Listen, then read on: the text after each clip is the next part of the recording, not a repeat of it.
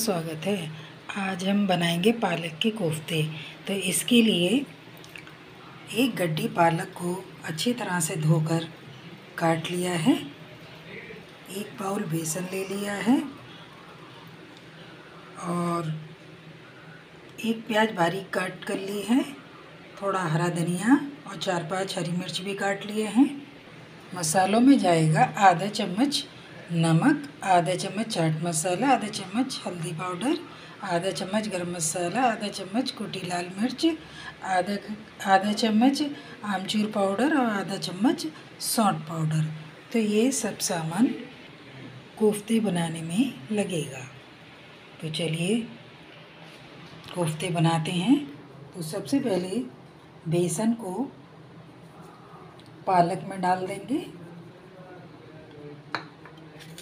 और हरी मिर्च, हरा धनिया, प्याज भी डाल देंगे।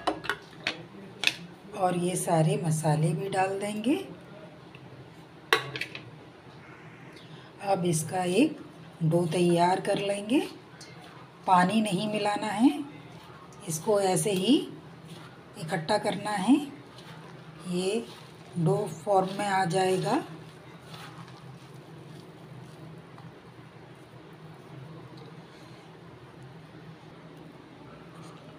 आधा बाउल बेसन और डाल लेंगे, क्योंकि एक बाउल इसमें कम रहा था।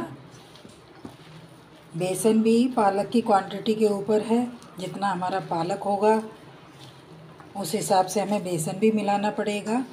बस बाइंड हो जाए, हमें इतना ही रखना होगा। अब देखिए बाइंड होने लगा है। अभी इसे अच्छी तरह से मिक्स कर लेते हैं। अब इसमें एक चम्मच के करीब ऑयल डालेंगे और इसको चिकना कर लेंगे। डो को चिकना कर लेंगे। अब इसे आधे घंटे का रेस्ट कराएँगे। इसे दस मिनट का रेस्ट कराएँगे। एक बाउल तेल गरम कर लिया है और इसमें ये मेथी दाना डाल देंगे।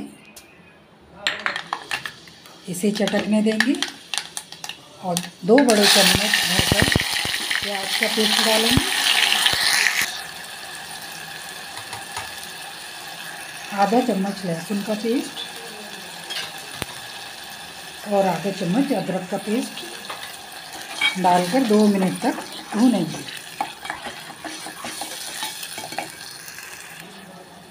दो मिनट हो चुके हैं तो एक चम्मच भरकर धनिया पाउडर डाल देंगे। आधा चम्मच नमक और एक चम्मच मिर्च पाउडर डालकर भूनेंगे। आधा चम्मच कश्मीरी लाल मिर्च पाउडर भी डाल देंगे, ताकि दिखने में भी अच्छा लगे।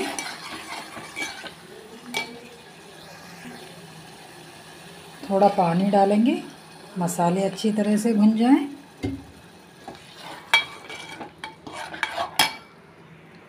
अब एक भगोने में पानी बॉईल होने के लिए रख दिया है। अब बेसन के भी हम बॉल्स बना लेंगे। कोफ्ते बना लेंगे इसके। पानी भी बॉईल हो चुका है। तो इसमें एक चम्मच के करीब ऑयल डाल देंगे। और उबलते हुए पानी में जो पालक बेसन के कोफ्ते बनाए थे, वो डाल देंगे। इनको 10 मिनट तक बॉईल कर लेंगे। तो सारे कोफ्तों को डाल देंगे हम। मसाला भून चुका है।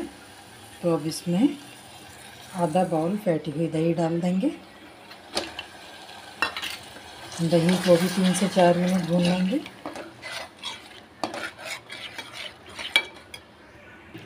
कोफ्ते हमारे बॉईल हो चुके हैं और पानी से निकाल कर इसे 10-15 मिनट तक ऐसे ही छोड़ दिया था ताकि इसका पानी ड्राई हो जाए। फ्राई पैन में ऑयल गरम कर लिया है। और इसमें कोफ्ते डाल देंगे। इनमें हल्का कलर आने देंगे। हिला हिला कर चारों तरफ़ से सेक लेंगे। भूनते हुए मसाले में आधा चम्मच गरम मसाला पाउडर डाल देंगे।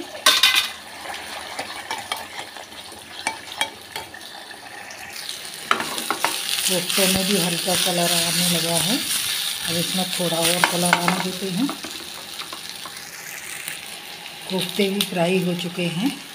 अब इनको निकाल लेते हैं। फ्राई हो चुके हैं।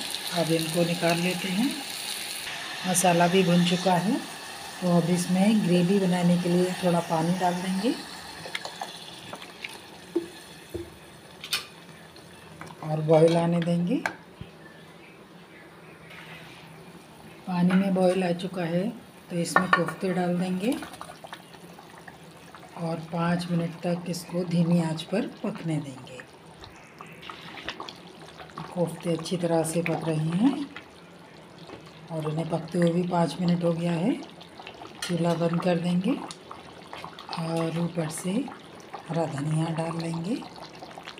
तैयार है पालक के टेस्टी कोफ्ते, आप भी ज़रूर ट्राई करें। वीडियो पसंद आए तो लाइक करें, कमेंट्स करें और चैनल को सब्सक्राइब करें। Thank you.